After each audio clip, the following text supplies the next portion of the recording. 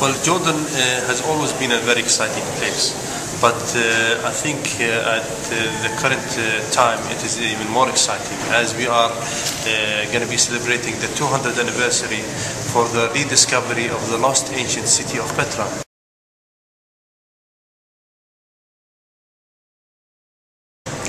Petra is a UNESCO uh, World Heritage Site and it is one of the new seven wonders of the world. Uh, as we are uh, celebrating the 200th anniversary, that means that there are many activities that are going to be taking place throughout the year of 2012 and leading to this time of the celebration, I think it will be exciting. I don't think people want to wait for another 200 years or 100 years to come and visit Petra again. So uh, 2012 is going to be exciting for them. At the same time, while they are here, there are also other exciting things. Lawrence of Arabia, the, the 50th anniversary of the film is coming soon. But that wonderful magical place that uh, Lawrence of Arabia was filmed and where Lawrence actually lived, which is Wadi Rum, just became uh, as a UNESCO World Heritage Site.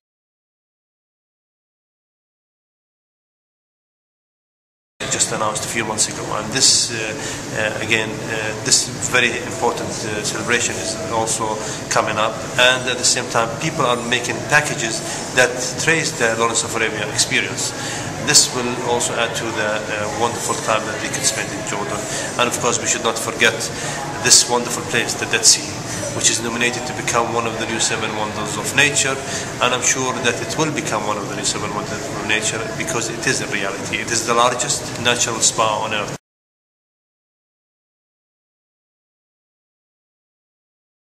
So these three large important events are happening, and this makes it exciting to add to the many treasures that Jordan have, starting from the Aqaba to the wonderful UNESCO sites, to the culture of Jordan, to the food of Jordan, to the people of Jordan, to the weather of Jordan. So whatever the reason is to come before now, there are three huge reasons to add to.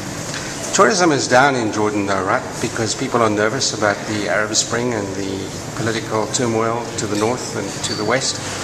Well, uh, tourism is down in Jordan terms of numbers. Uh, now, uh, uh we have to be very careful in terms of uh, when we say now.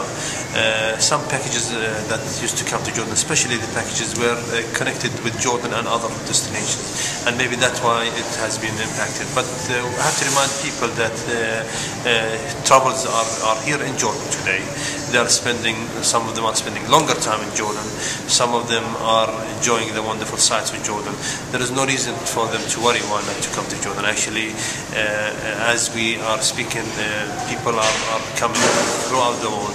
Uh, positive sign in, in the first 10 days of the month of September, it shows that travelers from the United States, I'm talking about group travelers from the United States, is up 25%. So that's compared to last year. So that's a very positive sign for us, and I'm sure that people are recognizing and understanding that the situation is extremely normal in Jordan and as they're getting bad feedback from their friends who are traveling or from the tour operators who are sending people to Jordan or even from the media. Uh, you are here with us today enjoying and you've been around the country for the last few days. You can uh, for yourself explain how the situation is and as we were talking you said you had, you had a great time here in Jordan and uh, most of the travelers and visitors who come to uh, Jordan are enjoying not only the sites but also the people of Jordan. Is the US market, North American market, an important source of tourism for Jordan? Uh, North American market is an extremely important market. This is one of the uh, strong source markets. Uh, we believe strongly in the North America market. Uh, we have good, excellent relation with uh, North America. At the same time, uh, the product here is, is exciting for people who come from North America. it's relatively new for them. Not many of them knew about Jordan until recently. it is a complete package. If one wants to come for the history and culture, Jordan is basically an open air museum. So wherever you walk, there is a piece of history or culture that reminds you of, of the old days and uh, the different civilizations. If you're coming for religious uh, purposes, Jordan again is part of the Holy Land, and uh, your pilgrimage to the Holy Land cannot be completed without being visiting Jordan. The Bible is your guideline here in Jordan and your guide for, for the wonderful sights.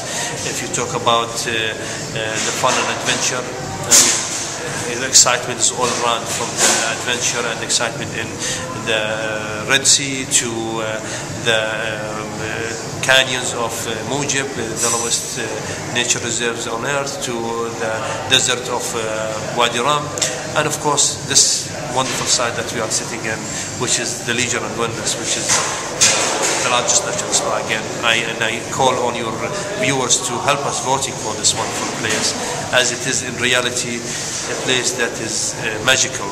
Magical in all senses. It is uh, uh, the sense of tranquility that one senses while he's here. And we have not, we should not forget the baptism site where Christianity started, and this is the site where uh, Jesus was baptized, and afterwards Christianity started. And not far away from it is, uh, of course, Mount Nebo, where, uh, where Moses saw the Holy Land and he's buried around there. So you're talking about a mixture of a product that makes people come for one reason, but get the benefit of experiencing something else within a small geographical uh, destination. So you don't have to spend your time traveling; you spend your time enjoying the product instead. I've been pretty impressed about how relaxed Jordanians are about foreign foreigners in general and different religions. And I think in part, as it's been explained by you to me, that this is an ancient crossroads of travelers, uh, you're used to travelers coming through Jordan. So people coming here can truly feel not worried about feeling strange or foreign. They are welcome. Well, we are proud of, of uh, uh, our uh, Jordanian hospitality, and this is uh, reflected on, on the visitors who come to Jordan. And this is, like you said, it's not not recent; it is ancient.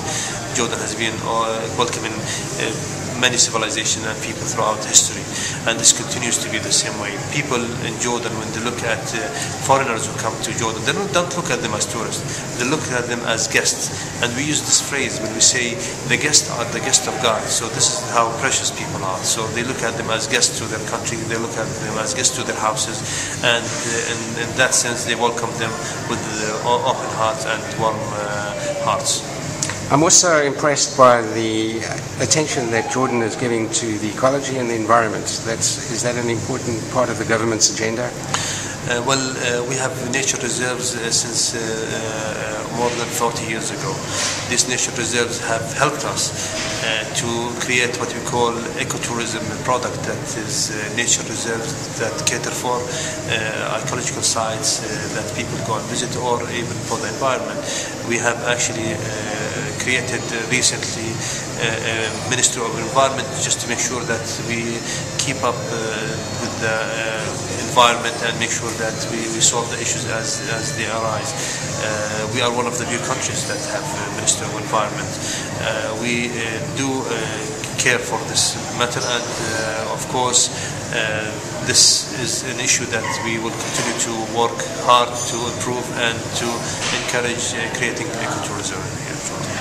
Is there going to be anything special at Petra for the 200th anniversary for tourists to see? I know you're talking about a conference and other things. No, it's not a conference. It's going to be actually a whole celebration throughout the year. There will be different activities, different uh, cultural activities, uh, festivals uh, uh leading up to the 200th uh, anniversary, which is uh, somewhere in the month of August. So it will be a really unique opportunity yes, to visit It's a unique opportunity, and again, like I said, it is the 200th anniversary. Anniversaries do not come so often now it has to wait for another 100 years to come for the next anniversary. So we are sure that people who will come, they will be one, some of the unique people and lucky ones to enjoy uh, Jordan and Petra during this time.